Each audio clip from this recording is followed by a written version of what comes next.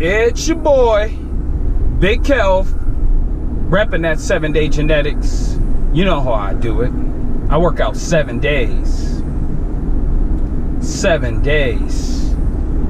But, anyways, back to my segment, which I call Fuck Out of Here, in which I talk about things that bother me, typically gym related, but occasionally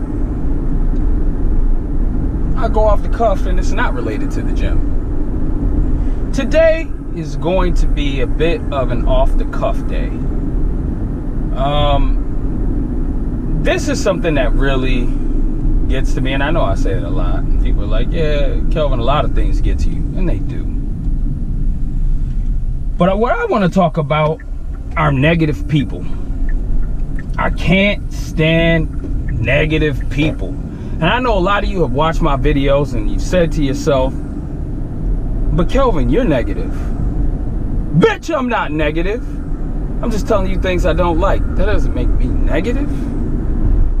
But when I talk about negativity, what I'm more talking about are people trying to tell you what you can and cannot do simply because they can't do Now, people will often tell you how you should take this huge dream you have and shrink it down to more pal palatable pieces so that you can achieve it. But who are they to tell you what you can or cannot do? Simply because it hasn't worked for them or chances are they probably haven't even tried. They just want to tell you how to compartmentalize your goals so that you achieve them like like in Pac-Man, you know, he, he chews the pellets piece by piece. Well, they want you to bite one small pellet at a time. Shoot, maybe you don't want to be like that. Maybe you want to do, you know, every every bite is a power up. That's it. Every bite is a major move instead of little tiny moves. Every bite for you is a major step. And for them, it's slow because they're slow motion. And you're not. You don't have to move to their pace. You don't have to bounce to their beat. Who are they in your life to tell you how to handle your life? Let me tell you, it's too many people out here with too much money and they didn't bounce to anyone's beat. You know why? Because they were captains of their own ship. They made a decision on their own and they stuck to it. They didn't let the naysayers tell them what they could or could not do. Stop trying to tell people how to live their life.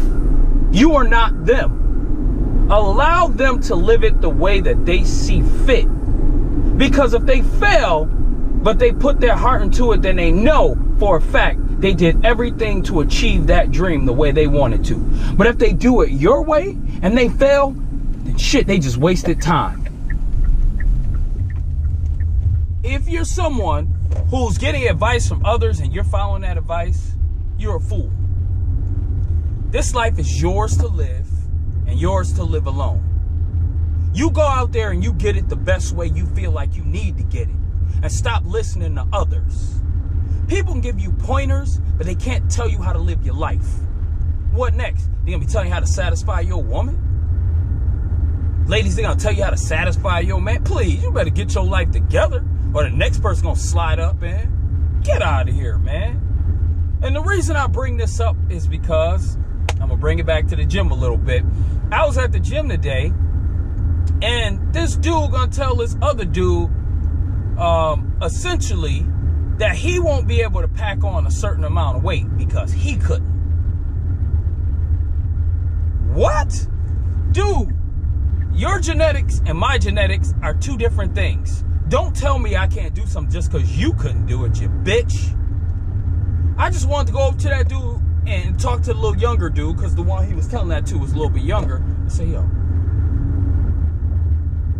I hear he trying to give you some pointers, but hold up, let me tell him something. Fuck out of here. How you gonna tell this man how his genetics are going to work? You can't. Now, I understand you could be logical and say, okay, you're not going to build 50 pounds of muscle in, let's say, a year naturally. He's just not gonna do it. Okay, I get that.